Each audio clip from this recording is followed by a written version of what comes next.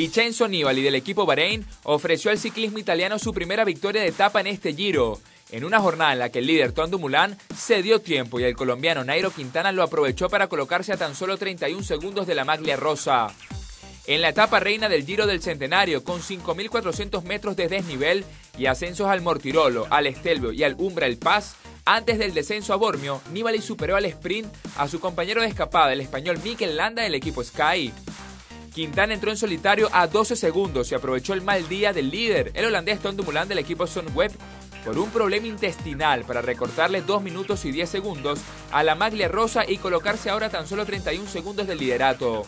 Tercero en la general está ahora Nibali, a 1 minuto 12 segundos del holandés, seguido por el francés Thibaut Pinot a 2 minutos 28 segundos y luego continúa el ruso Ilnus Sakharin a 2 minutos 40 segundos.